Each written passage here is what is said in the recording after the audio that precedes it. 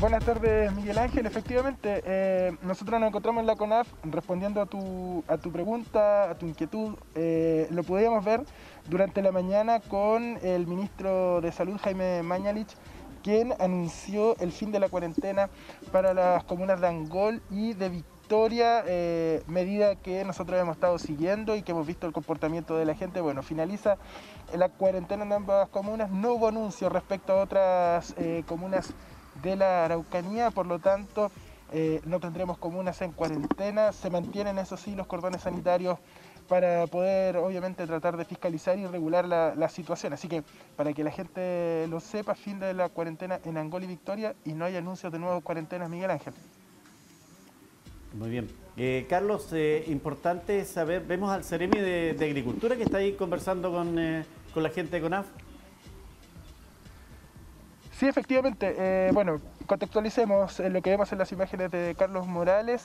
Se está celebrando 50 años del origen de la CONAF. Eh, en estos momentos se encuentra el intendente de la Araucanía, Víctor Manoli, junto a eh, Ricardo César, de Agricultura, y a Julio Figueroa, director de la CONAF, conversando con algunos brigadistas. esto en Boldo 1, lugar de operaciones. Te escucho. Nuestra directora se fue a los libros y dice que son 45 años nomás de vida. A lo mejor hay, hay, una, una, distorsión en la cifra. Eh, preguntemos qué dice CONAF porque ellos nos informaron que eran 50. Sí, de hecho recién estaban, hicieron un saludo virtual a otros funcionarios que están en distintas partes de la región Miguel Ángel y también es, esa, esa cifra que, te mencionaba recién. Eh, mira, terminan el saludo y viene el, punto de prensa. De esto ya falta solo que termine de hablar el intendente de la Araucanía para poder conocer la opinión y obviamente le vamos a hacer la consulta de rigor, pero lo que tenemos entendido nosotros es que son 50 Miguel Ángel.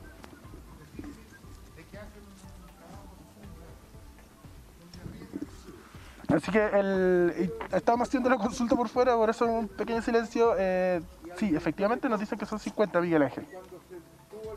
Son 50, perfecto. Eh, fíjese que lo que pasa con, la Corporación Nacional Forestal CONAF, que tiene una, un nacimiento y, después tiene como un padrino, eh, parte como un servicio forestal, después se transforma en corporación. Pero esta institución tiene una característica muy particular, porque es público-privada su administración. Eh, hay una parte que es pública y en, la administración las decisiones hay una, eh, em, una entidad privada. Entonces es una de las pocas instituciones del país que tienen esta mixtura de tener administración pública pero también participación privada. Eh, y claro, parte como servicio agrícola y después el SAC se queda con, con esa función particular y ellos se van a servicios forestales, de ahí es una historia entretenida para quien le gusta la historia del surgimiento de las instituciones en nuestro país, se puede, se puede eh, ahí eh, meter en, los libros. Eh, Carlos, ¿cómo va la ceremonia?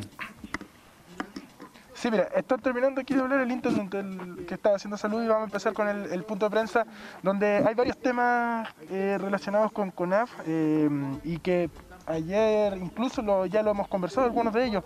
¿Qué pasa eh, con la reapertura de, los parques nacionales? Que se había realizado alguna, un anuncio hace algunos días para, poder, todo en medio de esta nueva normalidad que hemos, hemos visto, que ha sido anunciado por parte del gobierno Miguel Ángel. Y eh, justamente uno de los temas que vamos a, consultar. Eh, también se va a entregar un detalle, un balance en cuanto a a incendios hectáreas siniestradas eh, durante el, periodo de, eh, de verano eh, que, ya terminó hace algún tiempo, el periodo de incendios forestales, periodo que siempre se, se marca en una fecha que llega hasta fines de, marzo. son medidas que vamos a poder conversar con el director. Sí, te escucho. Es importante que cuente eh, dónde están. Eh, eso tiene una característica, tiene un nombre incluso de, un, árbol y, qué es la función que cumple eh, el lugar donde ustedes están en este momento entregando este contacto.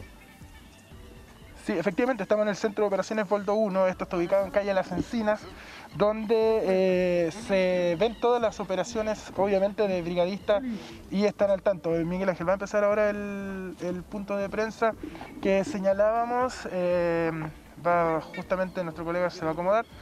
Eh, y va a hablar primero el intendente de la Araucanía, Víctor Manoli. Acérquese nomás, yo creo que el intendente va a conversar. sí, sí, estamos en tranquilo, tranquilo. Sí, estamos acomodando la, la, cámara. Ahora vamos a conversar con el intendente. Intendente, eh, bueno, eh, conversemos primero este aniversario de, de la CONAF, eh, el mensaje también para lo, los brigadistas que cumplen una labor muy esforzada.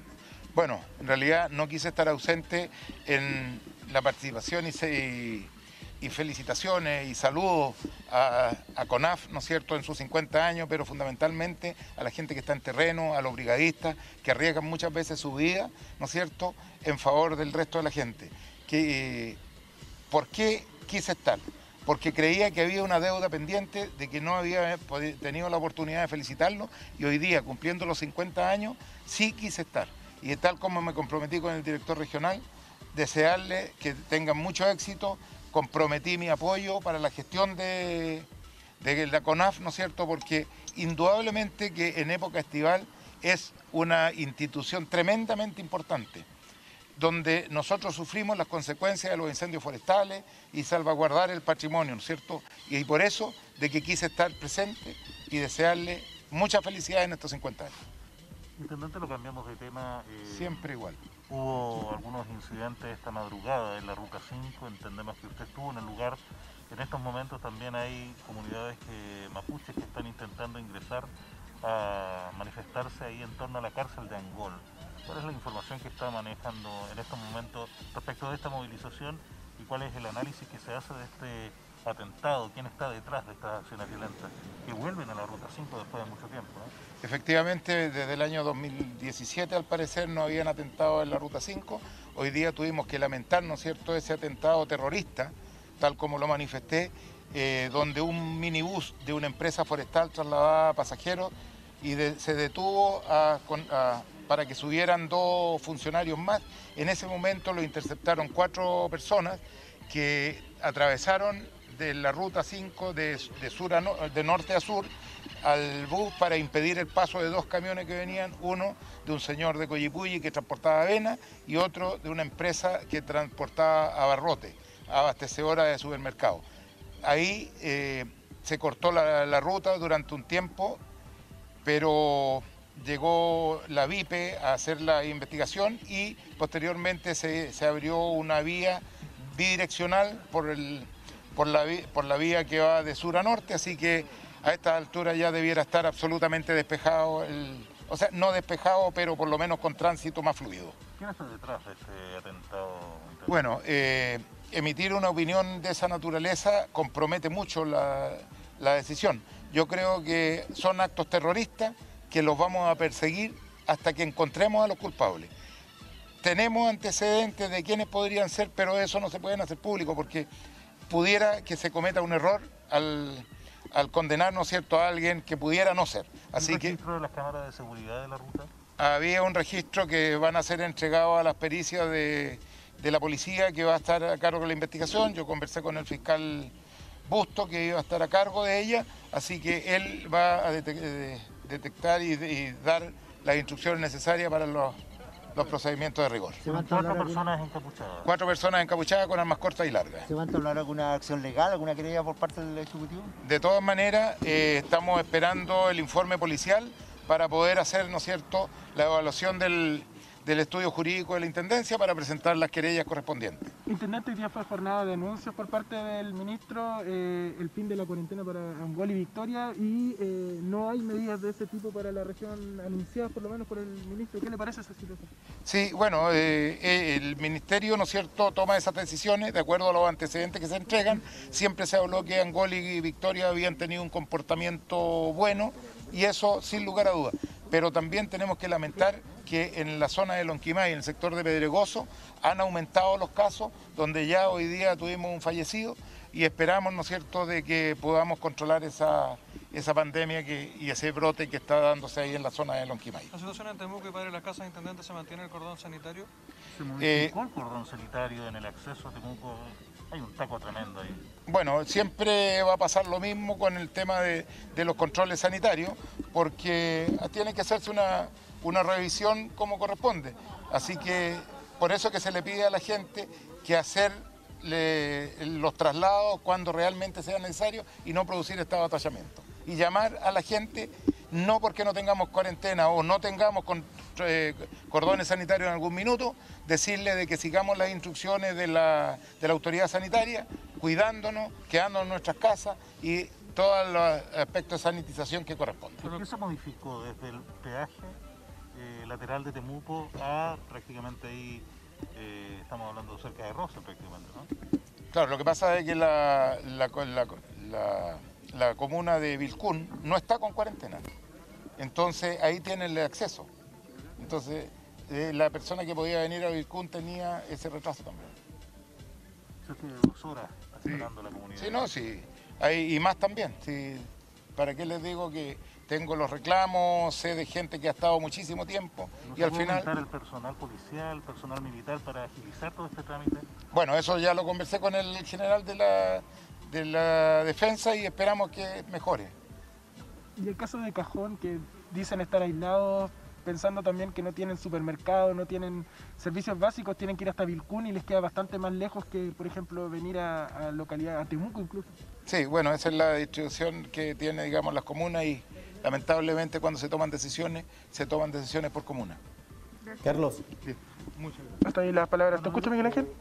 Carlos, yo no sé si alcanza a preguntar al intendente, pero ¿no le llama la atención que estas situaciones de ataques y quemas se sigan haciendo en estado de excepción como estamos ahora con presencia militares en la calle? Porque este no ha sido el único atentado que hemos tenido. policial que llegue a la... Que, se haga. porque se puso en riesgo la vida de los ocupantes, que duda cabe, ¿no? Sí, sí, yo conversé con los dos conductores, conversé con la gente de la empresa, o sea, la verdad es que en el minuto estaban tranquilos, ¿ah? yo creo que un poco nerviosos, pero manifestaban su tranquilidad, o sea, no, no, no era gente que... también es el impacto del primer minuto, así que... Intendente, ¿se habló de impactos balísticos incluso? También, se les disparó ah, eh, con escopeta. Intendente, no deja de llamar la atención eh, en el estado que se vive en el país, estado, un estado de excepción, que se sigan desarrollando estos hechos, también se han, registrado algunos eh, en horario de toque de queda, no deja de llamar la atención.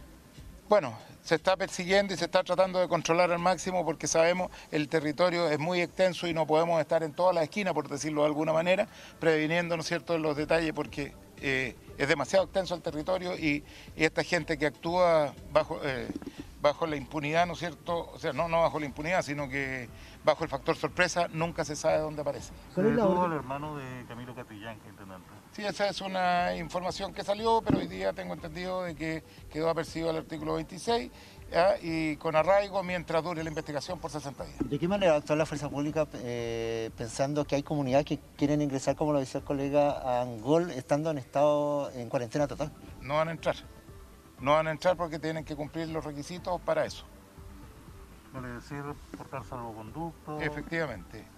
Ellos lo que buscan es realizar una manifestación afuera de la cárcel. Pero lamentablemente hoy día estamos en cuarentena y tienen que regirse por los estándares que hoy día le dicta la autoridad. Hay comuneros mapuches que están en huelga, intendente. Sí, efectivamente hay comuneros que están en huelga. ¿Qué le ha parecido eso? ¿Cómo, cómo van a actuar ustedes? Bueno, eso lo es Gendarmería y el Ministerio de Justicia. ¿La salud de ellos está bien? Eh, en caso de que esté en riesgo la salud, van a presentar algunos recursos para lo que, lo que ha sucedido siempre. Gracias. Y sí, las palabras del intendente de la Araucanía respecto a lo que está pasando. Escuchemos a Miguel Ángel respecto al aniversario de CONAF, al, director regional, eh, para que nos entregue también detalles de eh, cómo se vive este, este, este nuevo aniversario de la CONAF. Un aniversario que, que instala nuevas proyecciones para el servicio, nuevas exigencia también, ¿no? Sí, efectivamente, estamos celebrando hoy día los 50 años de la Corporación Nacional Forestal a servicio de los bosques y la naturaleza para cumplir nuestra misión, que es eh, el manejo sustentable de los bosques, bosques nativos y plantaciones, el fomento, el fomento de las mismas, la fiscalización de la legislación forestal y ambiental, la protección de los recursos naturales a través de nuestro programa de, de protección contra incendios forestales y la Administración del Área Silvestre Protegida del Estado, 13 unidades que conforman nuestro patrimonio aquí en la región de la Araucanía, que son las unidades más visitadas dentro de la región. Tenemos un gran compromiso con la región de la Araucanía y como institución de poder eh, fortalecer el servicio forestal regional y nacional con todas las acciones que realiza habitualmente la Corporación Nacional Forestal. Director, hay un anuncio para comenzar la reapertura de, los, de los parques, hacerlo de manera gradual. ¿Cómo va a funcionar ese, ese sistema pensando en la situación que se vive con esta pandemia a nivel, a nivel nacional?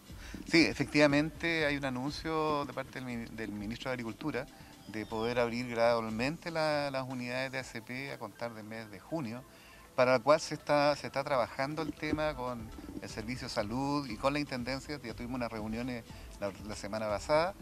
La decisión va a ser una decisión regional, como bien lo menciona el ministro, una vez que estén dadas todas las condiciones de prevención, eh, que no haya riesgo para los visitantes, eh, se van a empezar a abrir gradualmente algunas unidades del sistema de área silvestre protegida del Estado. ¿Hay preocupación por parte de los funcionarios que trabajan en esa, en esa unidad? Sí, efectivamente hay preocupación por nuestro guardaparque y también es la preocupación que tuvimos nosotros de haber cerrado to, todas las unidades hace ya 40 o 50 días. Eh, se tomaron medidas extremas con el parque Conguillío, de, hay una resolución sanitaria del Servicio de Salud que se prohibió el acceso al camino público y la gente que, que visita, lamentablemente no nos han hecho mucho, mucho caso con todas las medidas que se han tomado.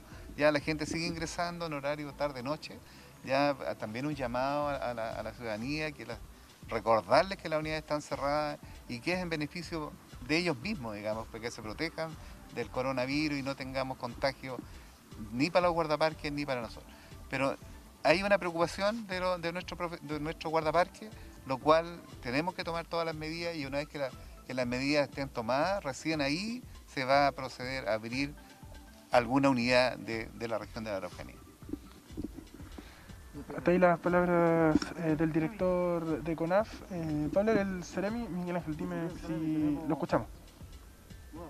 Muy bien, eh, Carlos. Eh, interesante el tema que dice relación con eh, la función, el trabajo que desarrolla CONAF. Generalmente lo asociamos con la, lo que es eh, los incendios forestales, pero hay todo un trabajo respecto a los monumentos, las reservas y los parques nacionales, que es donde fundamentalmente la gente también los veranos y en general cuando tiene tiempo se va a descansar. vamos a estar atentos a lo que, lo que pueda surgir y evidentemente ir sacando algunas reacciones, Carlos, de qué opina la gente en cuanto a que no nos consideraron en la cuarentena. Eh, ya están diciendo que Santiago de Chile, que no se están preocupando por el resto del país. Así que es bueno saber qué dice la calle también en ese aspecto. ¿eh? Sí, nos vamos a trasladar ahora al centro de la ciudad para ver cómo se está palpitando esta situación y ver también la opinión de, de la gente de Miguel Ángel respecto a lo que está pasando a nivel regional. Eh, ya desde el viernes no tendremos comunas en cuarentena.